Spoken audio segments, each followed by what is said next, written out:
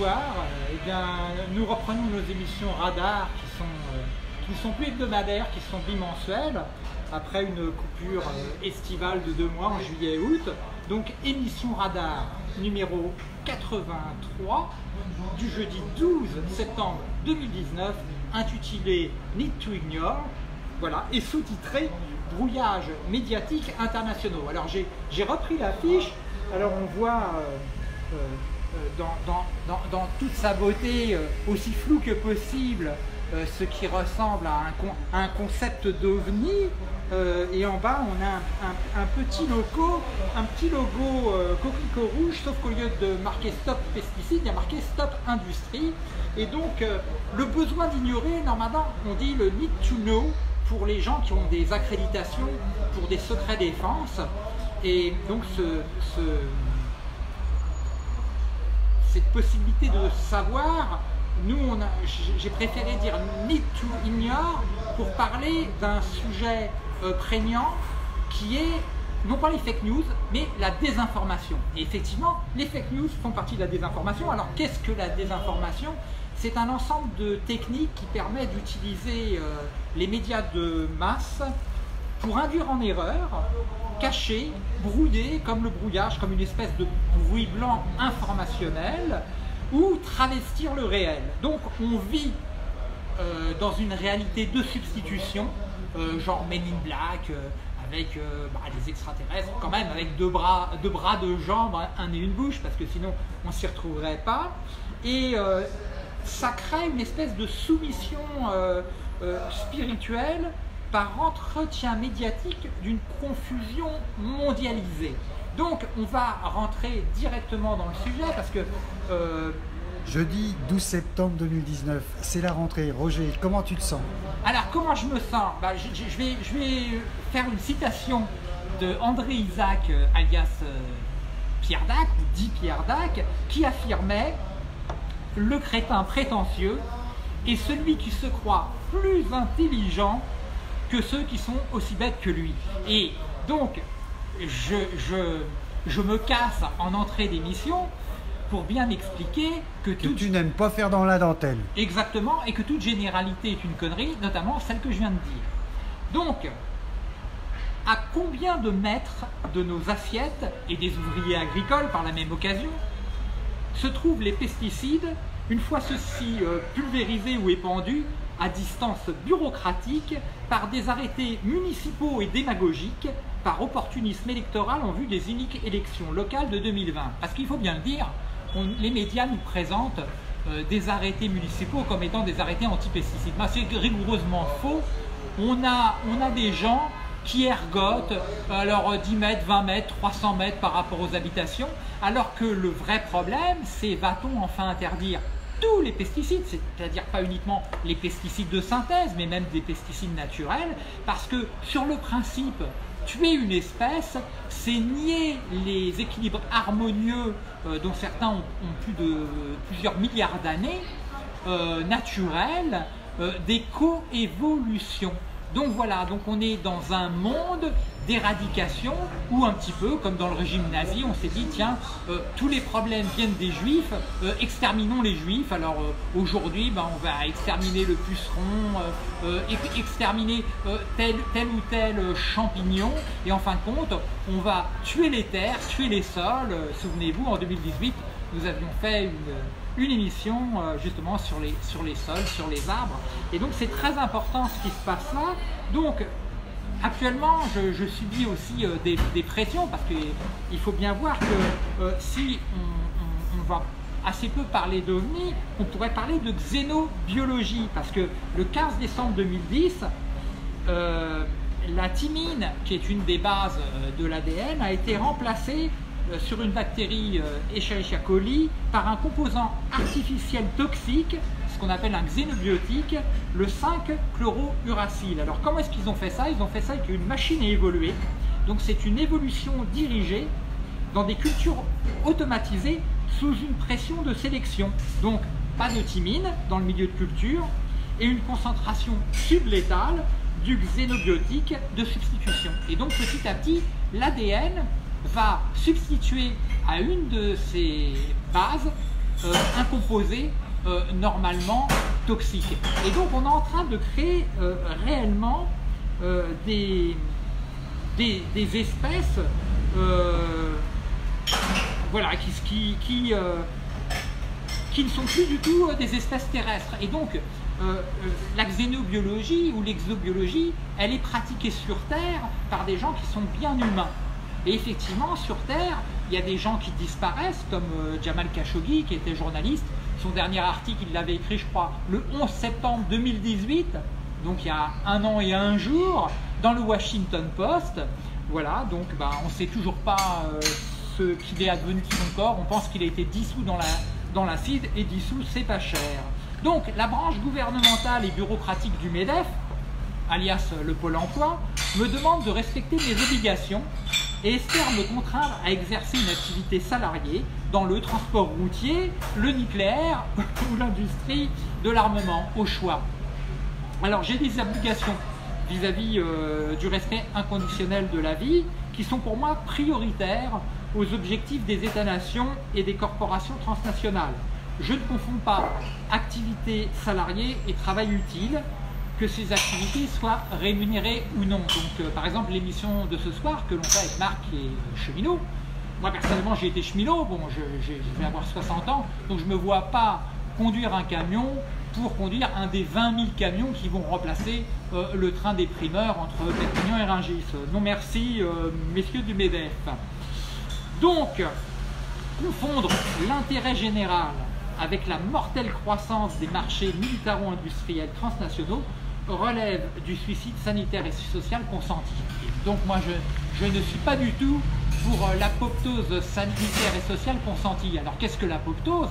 L'apoptose, chez les êtres pluricellulaires, euh, vous voyez, on mange tous les jours, et comment ça se fait que nos doigts grossissent pas, qu'on ne devienne pas énorme, qu'on ne pèse pas 3 tonnes? C'est que quand une cellule se divise, elle en donne deux, et bien il y en a une qui se suicide.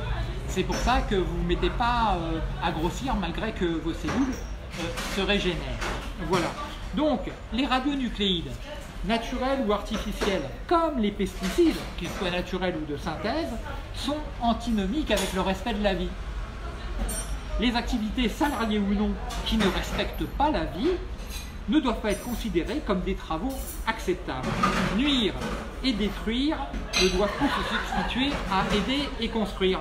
Donc ça vous explique un petit peu mieux pourquoi tous les ans euh, je jeûne 4 euh, jours à l'eau entre le 6 et le 9 août parce qu'il y a un détournement qui se situe entre 3,5 et 4,5 milliards d'années annuelles qui va euh, dans la banque BNP Paribas, chez EADS, voilà, dans les industries aéronautiques et spatiales et de l'armement, euh, et la DGA et tout ça, euh, pour fabriquer des armes terroristes thermonucléaires qui n'ont pour but ultime que de contaminer durablement d'immenses territoires et de carboniser des femmes et des enfants. Et donc moi, quelle que soit la raison, je ne veux pas que des femmes et des enfants, fussent-ils iraniens ou chinois, soit carbonisé et que le territoire iranien ou chinois soit contaminé euh, à cœur pour des dizaines de milliers d'années, voire des centaines de milliers d'années, parce que euh, un gouvernement euh, en place en a décidé de manière régalienne sans consulter le peuple. Parce que sur le nucléaire, il ne faut pas l'oublier, il n'y a jamais eu aucune consultation, ni directe du peuple, ni des élus. Ça a été décidé par le gouvernement provisoire en 1945, euh, sans qu'à ce moment-là ce soit passé devant une Assemblée nationale qui n'existait plus. Et donc il faut voir qu'aujourd'hui, la situation, euh, c'est la situation d'un euh, pseudo-président de la République, dans le cadre de la Ve République, qui se considère comme chef de l'État. C'est pour ça d'ailleurs qu'il s'est permis de manière scandaleuse de, faire, de rendre hommage euh, à, euh, au maréchal Pétain, euh, qui lui aussi était chef de l'État et non président de la République. Voilà. J'en profite pour te dire que Virginie nous regarde. Alors Virginie, toi qui nous regardes, mille excuses. Notre, notre ami Marc a oublié de recharger le petit appareil qui nous permet de retransmettre. L'enceinte portable. Voilà, donc il était, il était prévu, et je vais en parler. Je vais Mais je suis quand même venu. Voilà, donc il est là, mais euh, Je m'excuse. voilà, il, s'excuse, mais nous allons, nous allons parler euh, des, vrais problèmes et, et notamment, euh, je dirais, des, des criminelles omissions euh, qui sont celles. bah oui, il, paraît qu'il y a un ministère de, de l'écologie, je ne sais plus, de la solidarité et de mes trucs et de mes machins, voilà. Enfin, on va en parler parce que depuis notre dernière émission Radar du jeudi 27 juin 2019, qui était intitulée Libérons les électrons, une émission euh, consacrée au déboire du résistant Julian Assange, euh, officiellement inculpé pour espionnage le 23 mai 2019 par le complexe militaro-industriel des États-Unis d'Amérique. Et eh bien depuis, un sous-marin nucléaire russe a pris feu le 1er juillet 2019. Steve, porté disparu depuis le 22 juin 2019, a finalement été découvert euh, noyé le lundi 29 juillet 2019. Un missile expérimental à propulsion nucléaire explose sur une base russe le jeudi 8 août 2019. Alors cet abominable type de missile avait préalablement reçu les éloges technophiles et vidéographiques d'un dangereux et irresponsable ufologue français. Jeffrey Epstein s'est suicidé en prison le 10 août 2019. Alors, contrairement à ce qu'affirme le, le complotiste Donald Trump, qui voit la main sanglante du clan Clinton, 10% de la population française bénéficie gratuitement d'une eau potable contenant de l'eau super lourde. Alors pourquoi super lourde Parce qu'effectivement, euh, il y a deux isotopes radioactifs euh, à l'hydrogène, le tritium, qui contient un neutron de plus que le deutérium. C'est pour ça que l'eau tricier s'appelle de l'eau super lourde et l'eau au deutérium s'appelle de l'eau lourde. Donc là, il s'agit d'eau mélangée avec de l'eau tricier et donc de l'eau radioactive que 10% de la population française, donc plus, plus de 6 millions de Français, consomment pour ceux qui boivent l'eau du robinet. Nous avons un premier commentaire, il s'agit de Gilles Galwitz qui nous dit c'est la première fois qu'il nous écoute, c'est super.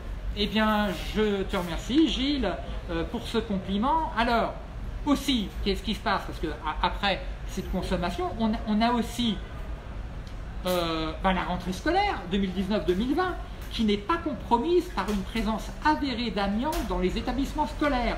Alors 80% des lycées professionnels, 77% des lycées généraux et technologiques, 73% des collèges et 38% des écoles.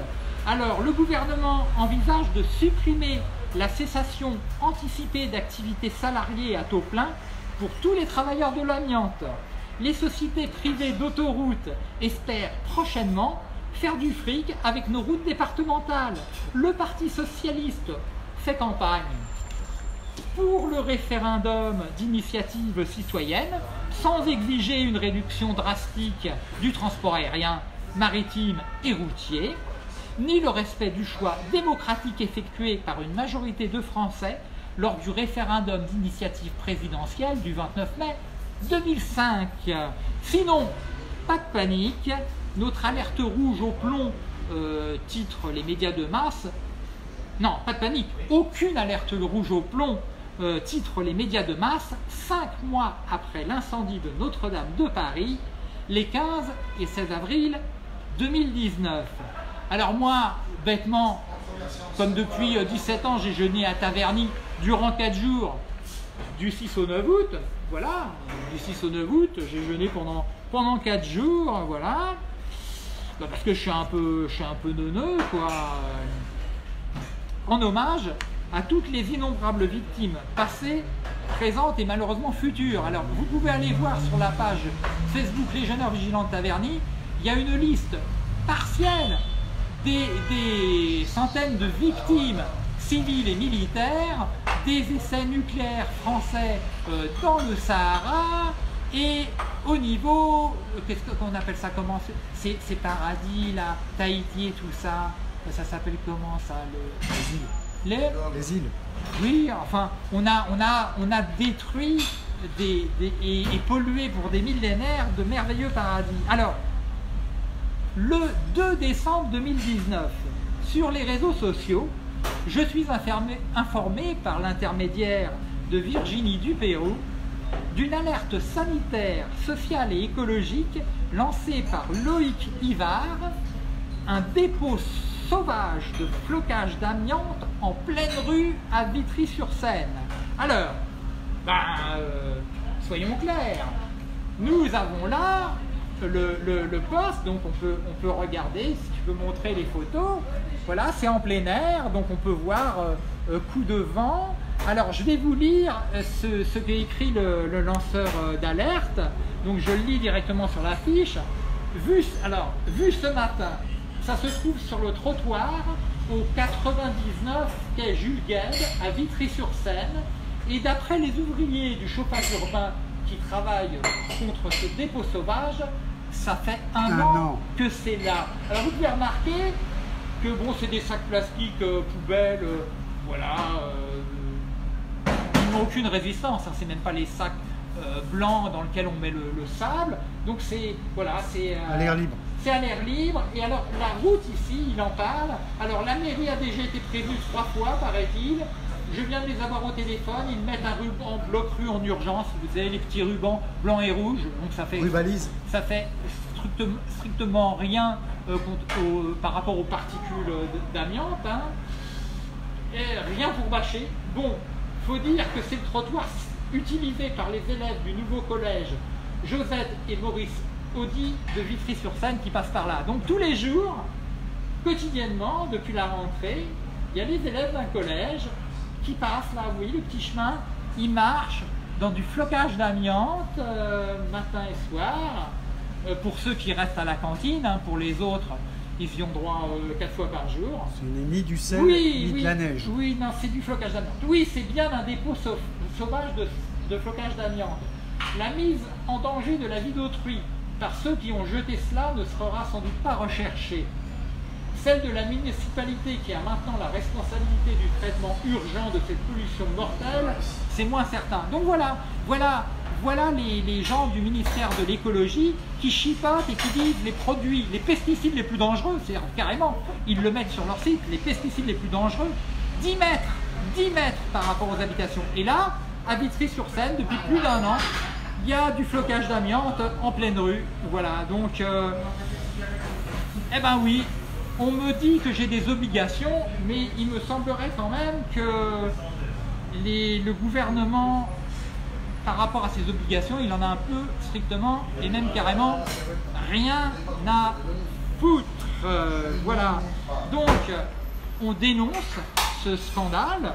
Moi, personnellement, on peut m'embaucher, mais il faut m'équiper. Hein avec euh, un respirateur, avec des gants euh, scotchés sur une combinaison étanche et je suis prêt à aller retirer ce flocage d'amiante à condition que me fournisse un système qui va me permettre d'aspirer sous confinement tout cet amiante et après de le détruire dans des fours dédiés parce qu'il faut savoir que les fibres d'amiante, je crois qu'il faut les porter à plus de 1700 degrés pour les transformer dans leurs composants initiaux qui sont euh, de, l'aluminium et des fibres minérales pour que ce soit des, des, résidus non toxiques. Voilà. Donc là, il y a carrément mise en danger euh, de, la vie d'autrui et, rien qui est fait si ce n'est des citoyens comme euh, Virginie et comme comme ce lanceur d'alerte, Loïc Ivard, j'espère qu'il ne sera pas poursuivi pour avoir lancé cette alerte parce qu'on est quand même dans un système où quand les gens récupèrent des gens qui se noient en Méditerranée ou lancent des alertes par rapport aux pesticides et autres, ces gens-là, ils se retrouvent tout de suite en procès. Donc, moi, je ne dis pas que je trouve pas ça inique que les maires qui lancent des pseudo-arrêtés antipesticides soient poursuivis. Mais par contre, ce que je peux vous dire, c'est que sous François Hollande, il y a la loi Macron qui est passée. Et la loi Macron permet au gouvernement sur des questions environnementales de légiférer par décret et ordonnance. Et c'est ce qui se passe aujourd'hui. Donc, un préfet, comme ceux qui ont été institués dans le cadre de l'État français voulu par le maréchal Pétain, les préfets de région on disent à un maire qui est élu, alors que lui n'est pas élu, ferme ta petite bouche, c'est illégal, tu n'as pas le droit de prendre ces décrets. Parce que ces décrets, c'est moi qui suis nommé par le gouvernement, et c'est le gouvernement, grâce à la loi Macron, qui a été voté sous François Hollande, hein, parce que le gouvernement Macron, c'est le gouvernement Hollande 2. Il faut bien comprendre ça. Macron, Macron n'a rien de particulier par rapport à Hollande. Sous Hollande, la répression avec Valls, elle n'était pas ni meilleure ni pire que celle aujourd'hui sous Macron. Et quand on avait des échanges entre Dieudonné et Valls, c'est exactement du même niveau que les échanges entre Ruffin et Macron. C'est-à-dire, on est là avec des gens qui prêchent euh, quelque chose d'extrêmement dangereux, c'est qu'il y aurait des bons chefs et des mauvais chefs, il y aurait un bon nucléaire, un mauvais nucléaire, et pourquoi pas, il y aurait des bonnes fils d'amiante et des mauvaises fils d'amiante. Et ça, c'est de la désinformation. Ça, c'est réellement de la désinformation que de dire que des municipalités votent des arrêtés anti-pesticides. Un arrêté anti-pesticides, ce serait un arrêté qui dirait j'interdis à toute entreprise et à tout citoyen sur le territoire de ma commune d'utiliser des pesticides quels qu'ils soient. Voilà, ça c'est un arrêté anti-pesticides. Mais de toute manière, ce sera illégal parce qu'aujourd'hui, nous sommes dans un système où on n'a plus besoin de passer par les élus, ni les pseudo-députés de l'Assemblée nationale. Euh, voilà, donc euh, d'ailleurs on va parler de ça. Euh, le message de Virginie qui nous dit merci Roger et Marc pour le relais. Oui, mais on va continuer, t'inquiète pas Virginie, la semaine prochaine, je vais m'arranger pour que Marc ait le petit ampli. Et la semaine prochaine? Non, dans 15 jours, oui, on fait plus les émissions. J'oublie. Dans 15 jours, la prochaine émission, Virginie, nous t'appellerons parce que je sais que tu as euh, beaucoup de choses à dire, autre que cette alerte réellement rouge et blanche, parce qu'il faut dire qu'elle est rouge et blanche, hein, celle-là. Euh, à Vitry-sur-Seine. On va se rattraper la prochaine fois. Attends, non, parce qu'il faut que je dise aussi aux gens, ça c'est l'alerte du 2 septembre. Mais entre-temps, la mairie de Vitry a fait. Ils ont bâché. Mais depuis, la bâche est partie. Voilà. Donc c'est pas bâché. Il faut, il faut réellement une entreprise spécialisée qui va venir euh, euh, en confinement emporter ce qui est sur place, mais aussi avec des aspirateurs, aspirer tout autour, parce que c'est là depuis plus d'un an, donc des, fibres d'amiante. Euh, l'ensemble de, la zone euh, a été très largement contaminé durant une année. Donc c'est vraiment extrêmement grave et je trouve ça euh, ignoble que j'espère qu'il va y avoir des relais parce que nous, on est les petits médias de merde, on avait averti sur le radioactif, on avait averti sur le ruthénium radioactif. Et là, quand on a la Russie qui expérimente un missile euh, à propulsion nucléaire, ce qu'avaient fait les Américains avec les moteurs Kiwi, avec la NASA, eh bien, moi je pensais que ce genre de choses était tout à fait interdite et que normalement euh, la, Fédération de Russie, qui fait partie des cinq membres du Conseil de sécurité de l'ONU, euh, devrait être sanctionnée par l'AIEA euh, comme comportement criminel et mise en danger euh, de la biosphère terrestre avec ce genre d'expérimentation. Donc il faut, euh, il faut bien dire, parce qu'aujourd'hui, on parle d'espace, hein, on, nous désinforme sur les ovnis. Il n'y a jamais eu aucun vaisseau extraterrestre récupéré sur Terre par quelque gouvernement que ce soit. Ça, je peux vous le dire. Je ne vous citerai pas mes sources, mais je suis affirmatif. Par contre, ce que je peux vous dire, c'est que le gouvernement français va armer tous les, satellites militaires, vont être armés de certaines d'armes laser hein, ou d'armes à énergie euh, cinétique. Donc on arme, on est en train de militariser l'espace. Point barre. Et ça aussi c'est proprement scandaleux. Moi je, dis très fermement, il est inacceptable, cette militarisation de l'espace est inacceptable. Voilà. Et donc tous les guignols de la pseudo-position électorale qui sont là pour, euh, au niveau de, la gouvernance gouvernementale de l'UE euh, se goinfrer de 9000 euros et, se dire qu'ils sont prêts à participer à des gouvernements de collaborateurs euh, avec les lobbies militaro-industriels pour nous empoisonner et strictement rien faire, et nous dire qu'on doit se préparer de manière patriotique à bouffer des radionucléides, comme au Japon, eh bien je trouve ça scandaleux. Ce qui fait que moi, ces gens-là sont des criminels. Jadot est un criminel, Madame Rivasi est une criminelle. C'est ce qu'ils vont faire de l'eau euh, des centrales de Fukushima?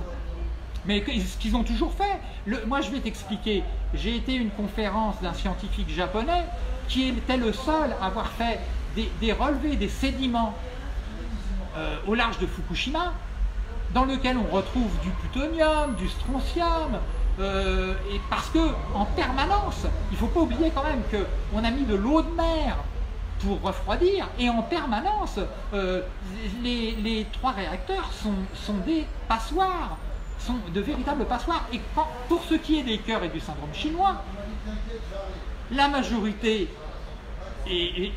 continue à percoler. Et qu'est-ce qui peut se produire à un moment si ça rentre dans une nappe et que l'eau bout eh bien, on le sait très bien au niveau de la tectonique et, au niveau du volcanisme, les volcans dangereux sont les volcans euh, qui explosent. Et ils explosent pourquoi? Parce que le magma est, en contact avec de l'eau.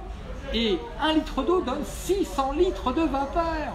Vous imaginez la pression et on pourrait avoir toute la zone qui se mettrait euh, à exploser.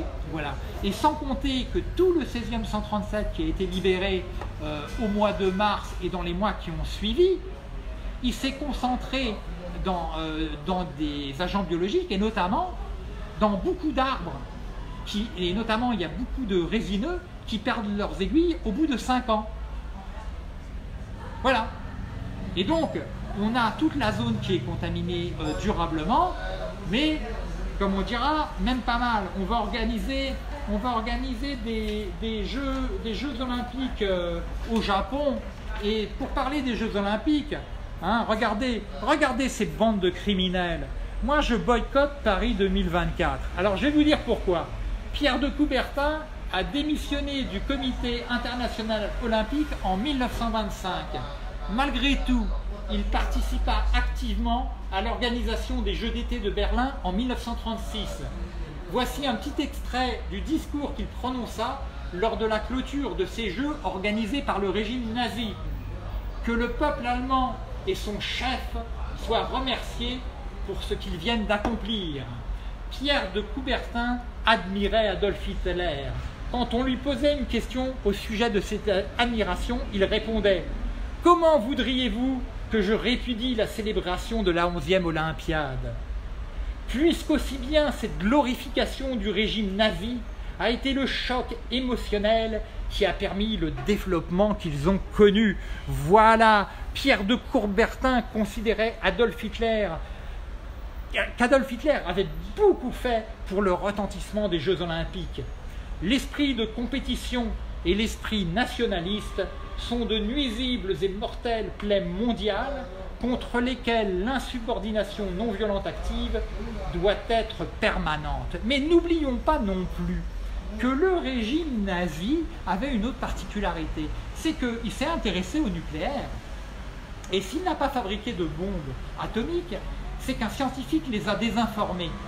Il a surévalué la masse critique, et donc quand Van Braun, qui était un nazi fervent, à fabriquer les, fusées qui devaient porter les charges, eh bien, euh, ils avaient évalué à 5 tonnes une bombe atomique.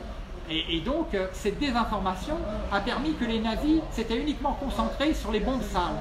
Et donc, il y avait un projet des SS qui était de fabriquer des bombes à l'uranium et de disperser dans l'environnement des poussières radioactives pour contaminer des territoires. Voilà. Et, euh, on a eu de la chance que ce projet ne soit pas mené à bien parce qu'il euh, avait été envisagé à un temps, euh, dans la débâcle qui a suivi le débarquement de Normandie, de pulvériser des radionucléides sur Paris et sa région. Et ce qui fait que ben, aujourd'hui, la région parisienne serait encore assez difficilement habitable. Voilà. Ah tiens, c'est de l'information. Hein et qu'est-ce qu'il a fait, le petit Staline, ce salopard? Parce que n'oublions pas quand même, faut arrêter de diaboliser Adolf Hitler. Hein. Euh, si Adolf Hitler était le diable, je me demande qui était Staline. Hein. Plus de 20 millions de morts. Hein. Et puis au niveau de l'antisémitisme, euh, il n'était pas mieux le garçon. Qu'est-ce qu'il a fait Staline? À la fin de la guerre, il a désinformé les Alliés en disant que, ben, Hitler, euh, il ne l'avait pas retrouvé. Alors qu'il savait très bien qu'il s'était suicidé, il s'était cramé. Et donc on le voit bien, cette désinformation, quand le complotiste. Donald Trump se permet euh, d'insinuer euh, sur les réseaux sociaux qu'un clan Clinton aurait peut-être œuvré pour assassiner euh, Jeffrey Epstein, moi je trouve ça scandaleux parce que chacun est bien à même de comprendre que ce type qui travaillait pour les services d'espionnage américains et qui a participé à compromettre avec la pédophilie beaucoup des oligarchies européennes pour imposer le nucléaire, euh, quand il a compris qu'il était lâché de tous, il est tout à fait naturel qu'il se soit suicidé. Parce qu'il savait que s'il ne se suicidait pas, de toute manière, ça allait très mal tourner pour lui.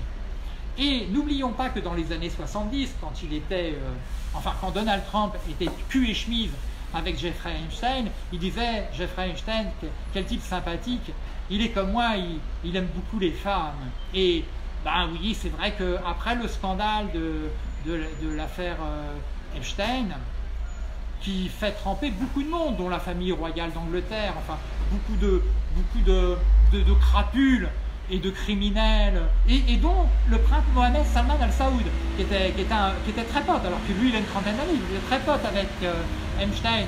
Il faut s'intéresser à ça, c'est important, c'est important, ces psychopathes, ces psychopathes qui nous, qui nous tuent, qui nous tuent, il faut bien le dire, ces psychopathes. Alors ils ont pour ami, bah, ils ont pour ami Emmanuel Macron ça n'a strictement euh, rien d'étonnant. Donc, pour en revenir euh, à Einstein et à ce scandale, qu'est-ce qu'a dit euh, Trump récemment?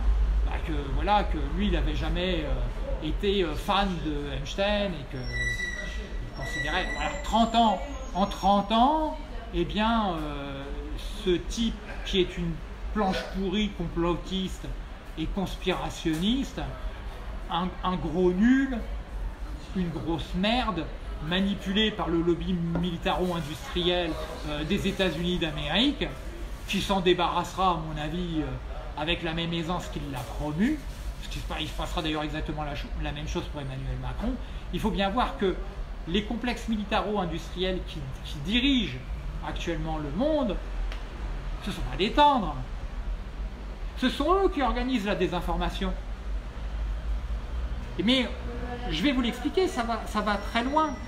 Parce que en France, en 2014-2015, on nous a parlé d'une vague de survol des centrales nucléaires françaises euh, par, des, drones. Alors, alors, ce qui est étonnant, il y a Paul Pisani, le directeur de la centrale du Blayet, qui a rappelé le cap criminel de la programmation d'activité de la centrale jusqu'à 60 ans.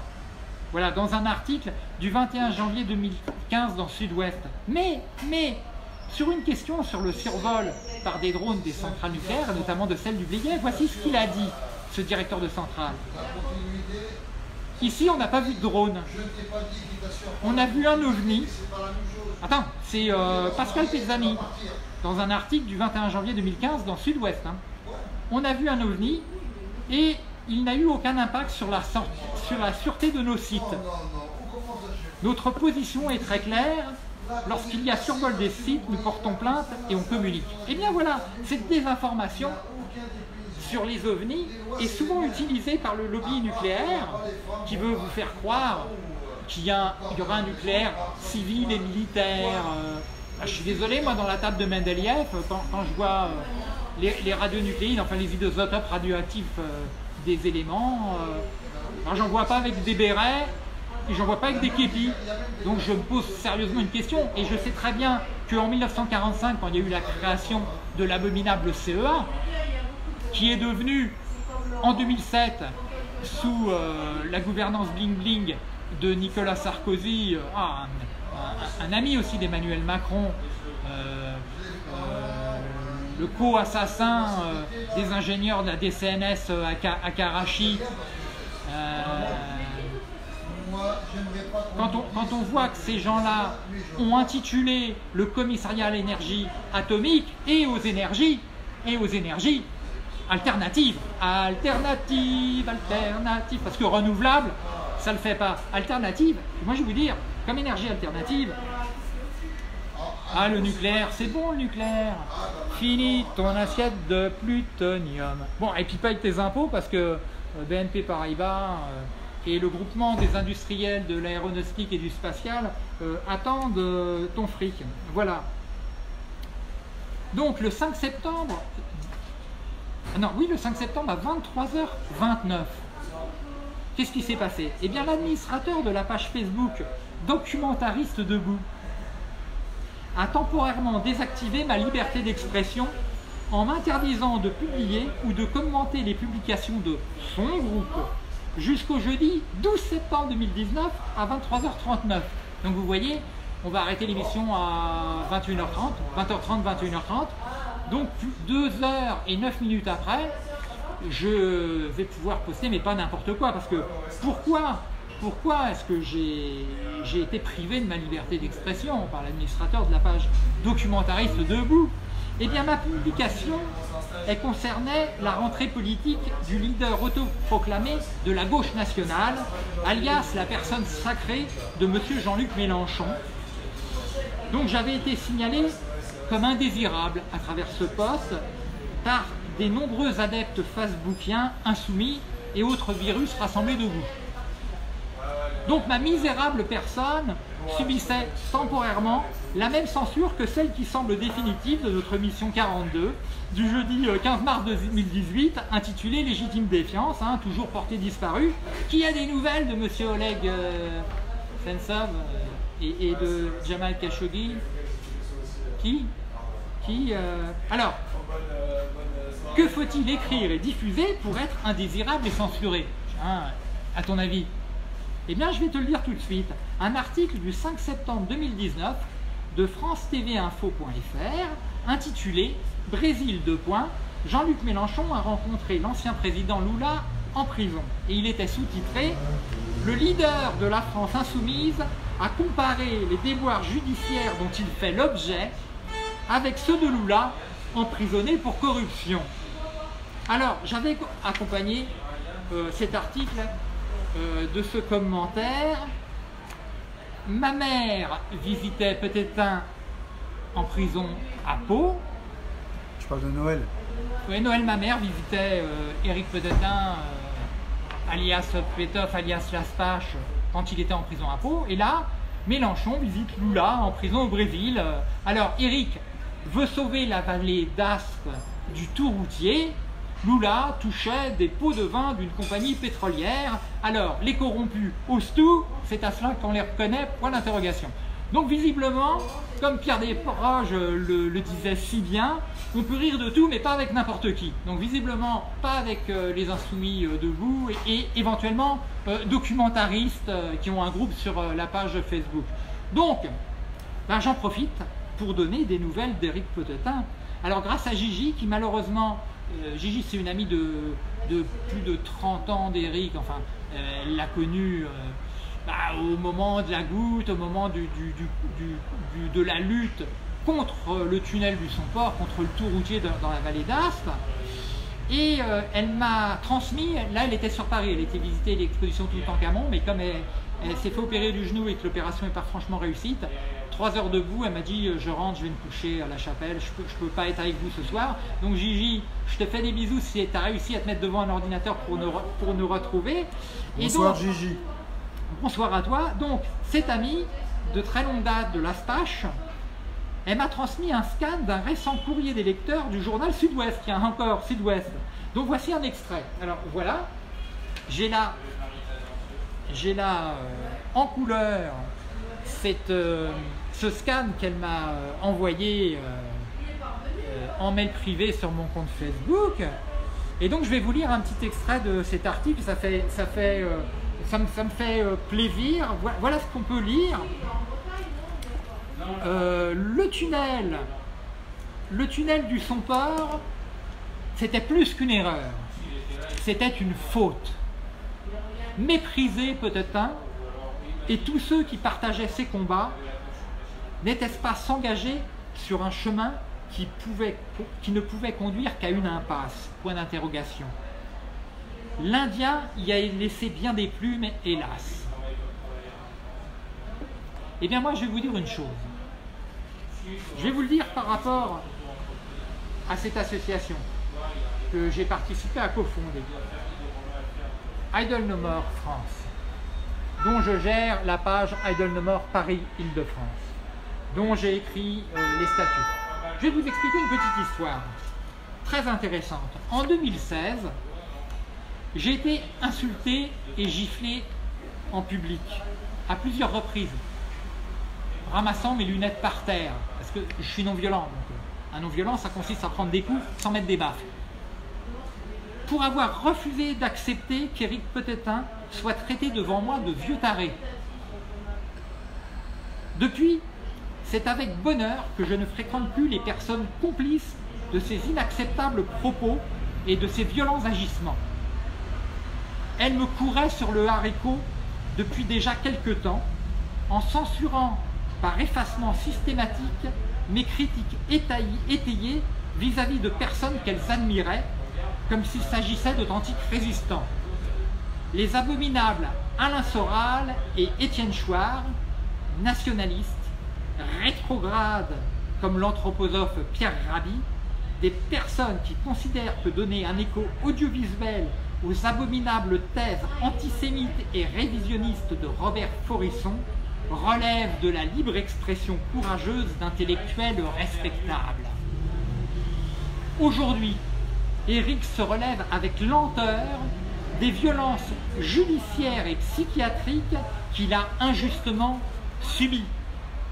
Celles et ceux qui poursuivent localement la locale et vitale lutte non violente contre le développement du trafic routier en vallée d'Aspe sont harcelés par la bureaucratie technocratique locale, un digne représentant de ce système officiel et irréformable de destruction des vitaux patrimoines naturels locaux est le député national populiste M.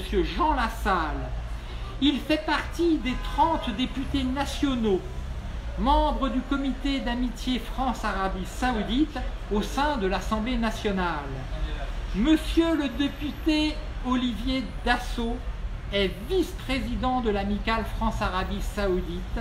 Il dirige aussi le groupe médiatique SOC Presse et bien sûr le groupe Dassault Aviation.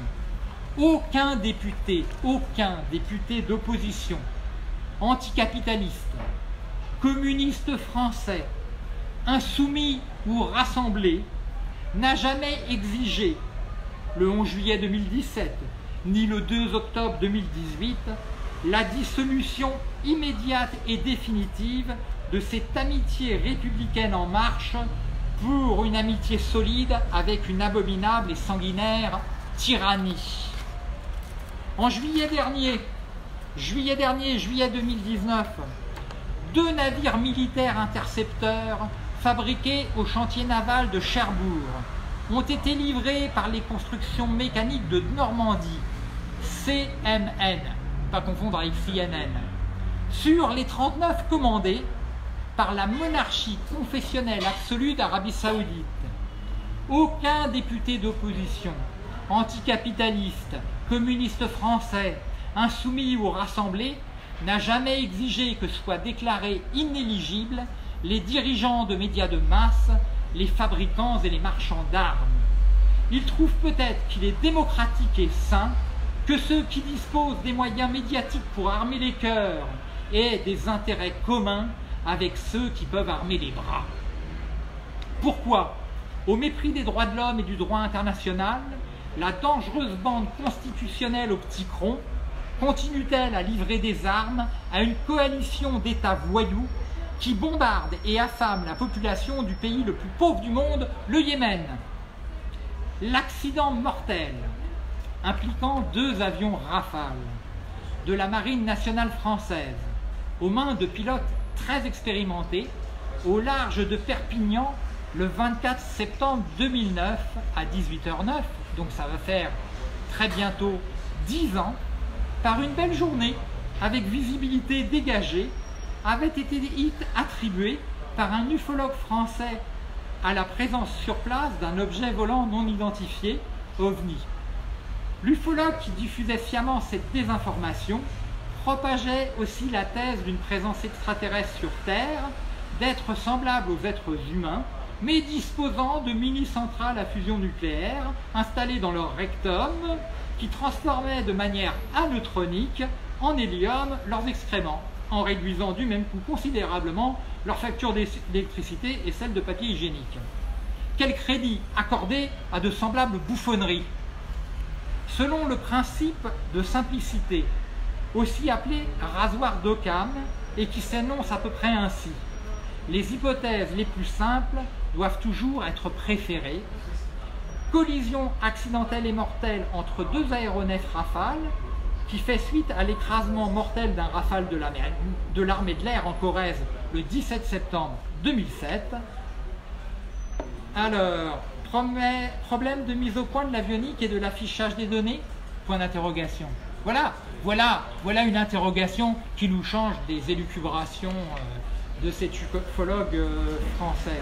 Mais s'il fallait chercher obligatoirement une cause exogène à la destruction simultanée de deux rafales de l'aéronavale française, peut-être qu'un vol en formation avec un drone de combat, vol qui aurait mal tourné, aurait une plus forte probabilité de survenue que l'intervention d'un aéronef interstellaire, voire intergalactique.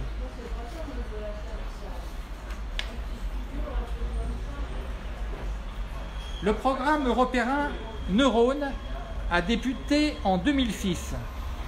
Il s'agit de la mise au point d'un drone de combat autonome européen, auquel participe le groupe français Dassault Aviation. Le premier vol d'essai officiel a eu lieu à Istres le 1er décembre 2012. Moins de 10 mètres de long pour une envergure de plus de 12 mètres, ce robot tueur autonome peut voler à 988 km/h grâce à un, réacteur Rolls-Royce Turbomeca.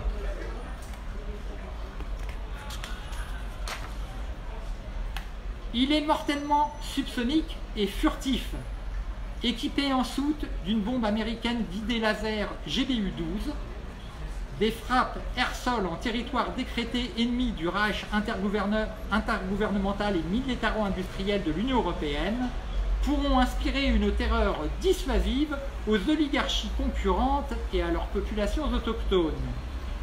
Qui met au point des formes de vie étrangères de synthèse, dites paranaturelles ou xénobiotiques? Qui en parle comme un des plus grands périls endogènes pour l'ensemble des équilibres coévolutifs de la biosphère endémique à la planète à laquelle nous appartenons eh bien, c'est Pierre Roulier alias Roger Nimo sur Radio Radar. Voilà, donc vous voyez ici un ovni euh, parfaitement, un objet volant qu'on va identifier comme étant le neurone, un programme européen de drones de combat autonome. Voilà, donc une intelligence artificielle qui va décider de tuer avec une bombe guidée laser donc avec des commandos au, sol qui, avec un illuminateur laser, vont, illuminer une, cible. Voilà. C'est assez ignoble. Et là, il y a du fric. Hein. C'est pas, pas comme à Vitry-sur-Seine quand il s'agit euh, d'enlever un dépôt sauvage de flocage d'amiante qui est là et qui contamine l'environnement depuis plus euh, d'une année. Voilà. Eh bien, moi, ce que je vais vous dire, c'est que l'État-nation français et l'Union européenne prétendent avoir le souci permanent de notre sécurité. Ils investissent sans compter dans des activités qui mettent en péril les peuples et la viabilité des territoires auxquels ils appartiennent. Ça, c'est la réalité. 3,5 à 4,5 milliards d'euros investis annuellement dans les arsenaux terroristes thermonucléaires français que l'Union européenne espère pouvoir bientôt baptiser arsenaux thermonucléaires de l'Union européenne. Cet argent public termine en majeure partie dans les poches d'industriels et de banquiers.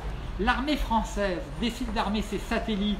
La militarisation de l'espace n'émeut pas grand monde de l'opposition électorale cooptée par le système. Hein? Euh, Ruffin et Mélenchon ne, ne vont pas vous en parler. Où sont les abris dédiés aux populations en cas d'alerte biologique, chimique ou nucléaire? Alors qu'il s'agisse d'un accident ou d'une agression Ça, c'est une question que je pose. Hein? Qu'est-ce qu'on a investi comme argent dans des abris pour les populations civiles? En cas d'accident biologique, chimique ou nucléaire ou d'agression à, la, à base d'armes biologiques, chimiques ou nucléaires? Zéro, peanuts, peanuts. Il y a des abris pour les oligarques, hein, pour les gens qui nous tondent euh, des deux côtés et qui ne font rien pour notre santé et qui mettent au contraire notre santé en péril. Voilà. Donc moi, j'en ai marre de payer pour des criminels. Donc la franchise réglementaire catastrophe naturelle, je ne sais pas si tu as regardé ton assurance, mais bon, tu payes une franchise réglementaire catastrophe naturelle, eh bien elle est quatre fois moins élevée que celle concernant les conséquences du dérèglement climatique. Effectivement, tu remarqueras que la clause sécheresse et ou réhydratation des sols, donc celle qui est liée au dérèglement climatique, c'est-à-dire l'alternance, comme je l'avais expliqué, de périodes chaudes et sèches avec des périodes froides et humides, qui est caractéristique. Donc les vieux bâtiments n'arrêtent pas de subir des dilatations, donc se fendent, et à partir de là se dégradent très rapidement. Et bien là, les assurances, attention, elles réfléchissent de faire payer ton assurance, mais par contre, te, te, te rembourser, attention, il faut créer des équations pour faire en sorte qu'on n'ait pas à te rembourser plus que, ce qu'on t'a fait débourser, parce que les assureurs, c'est quand même des, banquiers, hein, l'air de rien. voilà.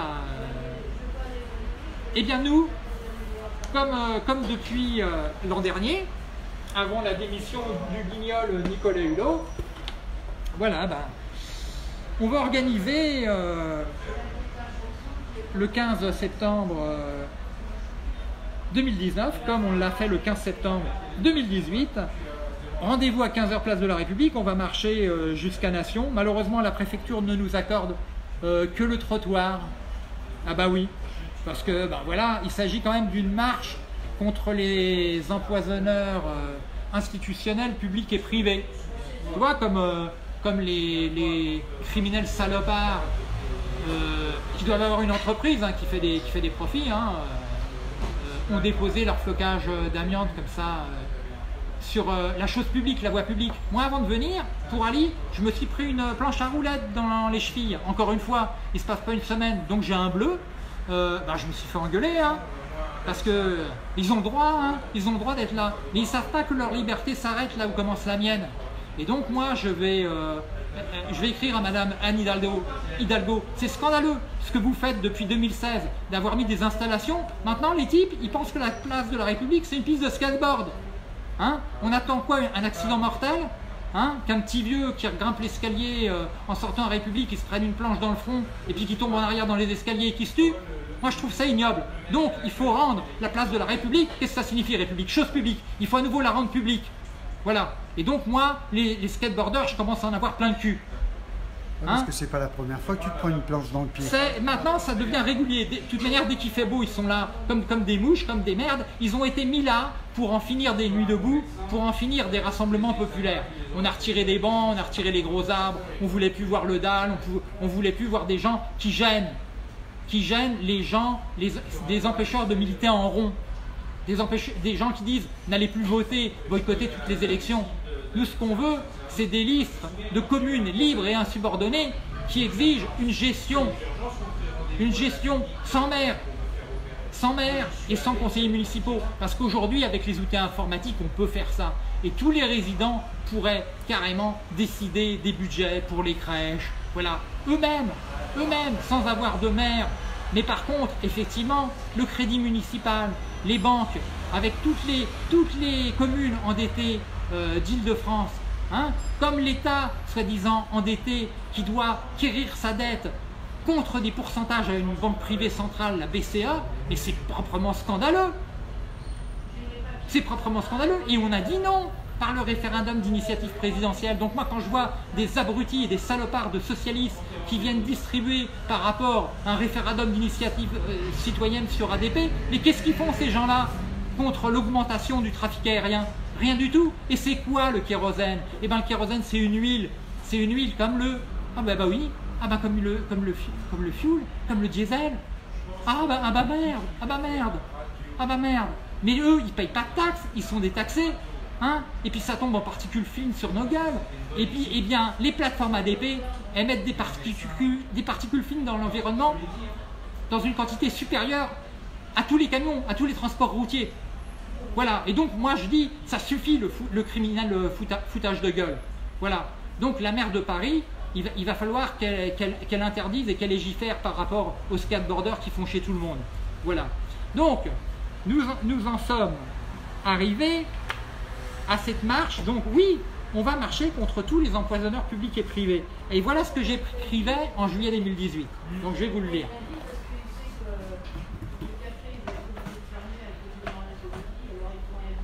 En juillet 2018, j'écrivais. Hop, excuse-moi.